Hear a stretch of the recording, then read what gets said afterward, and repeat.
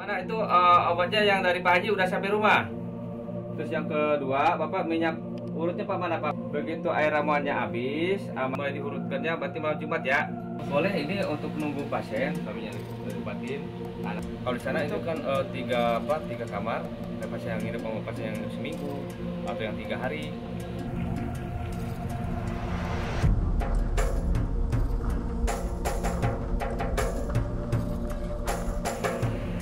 Kisah tentang Maerot, sang pakar kebugaran pria, sudah dikenal sejak dahulu.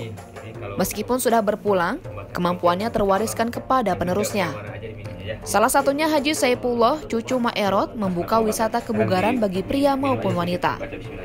Saipullah juga bersama sang ibu terus melestarikan keahlian yang diwariskan dari Maerot.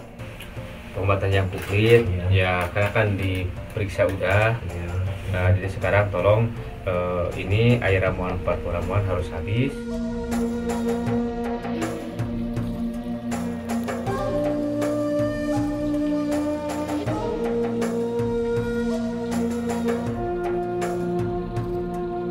Lokasi yang berada di bawah kaki Gunung Gede Pangrango ini bertepat di Kampung Salaawi, Desa Citamiang, Kecamatan Karudampit, Kabupaten Sukabumi. Membuat betah pasien untuk melakukan pengobatan tradisional ataupun berkonsultasi tentang kebugaran pria.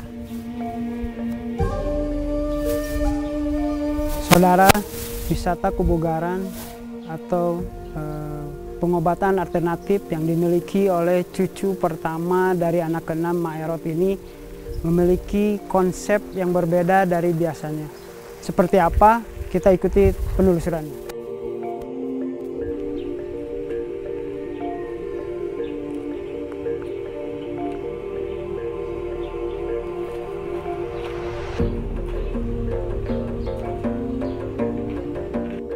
Berbeda dengan biasanya, lokasi wisata kebugaran ini memiliki fasilitas lengkap bagi para pasien yang datang ke tempatnya. Fasilitas mulai dari kamar menginap pasien, kolam ikan, dan lain sebagainya.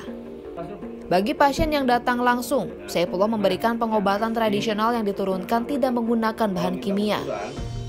Saat proses dirinya hanya mengandalkan ramuan tradisional yang diwarisi secara turun-temurun.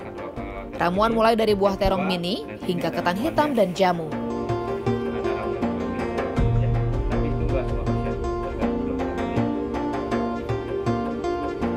Alhamdulillah ramuan Pak Haji ini ramuan yang 40 ramuan ini dijamin 100% tidak ada efek sampingnya. Sebetulnya ini si pasien tujuannya untuk ngobatin eh, apa yang punya keluhan tuh yang kecil minta tambah ukuran besar dan panjang. Terus yang durasinya cepat keluar itu mintanya biar tambah keras dan tahan lama. Nah satu itu pokoknya. Kedua eh, obat ini ramuan ini sebetulnya bisa ngobatin untuk kayak kencing manis, diabetes. Kenapa? Kalau si pasien, jadi walaupun dia pasien itu enggak cerita, punya penyakit diabetes kencing manis, begitu diobatin Pak Haji ada ketahuan, ya itu tetap harus diobatin. Tapi enggak termasuk untuk biaya itu. Kenapa? Karena kalau nggak diobatin kayak kencing manis diabetesnya, nanti itu sembuh bagus, tapi nggak lama akan turun kembali. Karena kencing manis diabetes itu itu pokok utama yang pertama menjatuhkan untuk kelamin. Gitu ya, makanya uh, semua pasien jadi ini untuk ngobatin kelamin tujuannya, tapi kalau ini termasuk ngobatin kayak kayak kencing manis diabetes itu udah termasuk diobatin sama semua. Alhamdulillah. Makanya hasilnya 100% ini permanen untuk semua hidup. Alhamdulillah. Alhamdulillah kalau untuk uh, surat hal paten uh, di antara keluarga almarhum Erot, anak dan cucunya insya Allah kayaknya cuma Pak Haji dikasih apa yang mandat untuk yang punya hak paten. Contohnya kayak gini. Ini ini satu. Nih. Ini contohnya kayak gini pak. Ini. Ini uh, paten dari langsung kementerian.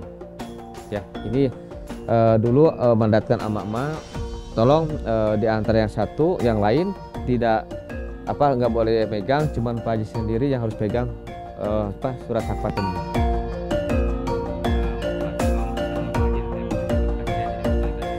Sementara salah satu pasien yang datang langsung, Dadan mengatakan, tempat yang disediakannya cukup memuaskan.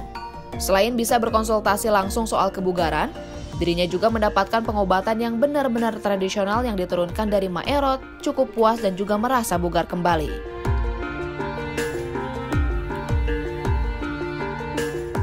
Uh, itu udah jauh-jauh hari ya, saya ada rekomendasi dari teman kerja yang sudah berhasil ya, berobat di Pak Haji Saifullah. Kebetulan kan uh, ini asli cucunya Mak Erot juga. Uh, cucunya Mak Erot kan banyak, kebetulan saya uh, hati ke sini gitu. Uh, kalau misalkan uh, tahunya sih dari teman jauh-jauh hari saya ke sini. Saya dari Bandung uh, udah direkomendasiin sama Pak Haji soalnya saya uh, ada keluhan yang harus diterapi secara insentif jadi saya disuruh nginep dulu di sini gitu sama keluarga dibawa juga sama keluarga ke sini ya mudah-mudahan untuk hal yang saya inginkan ya seperti uh, tujuannya gitu berobat tujuannya bisa tercapai gitu dan berhasil juga.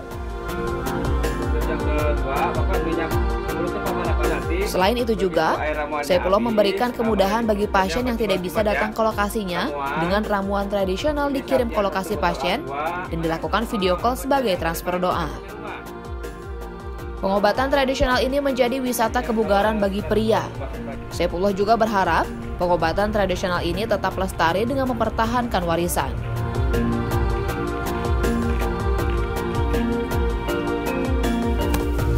Nah saudara itu tadi pengobatan tradisional untuk memberikan kebugaran bagi seorang pria ya, yang diberikan metode dari Ma'erot kepada cucunya.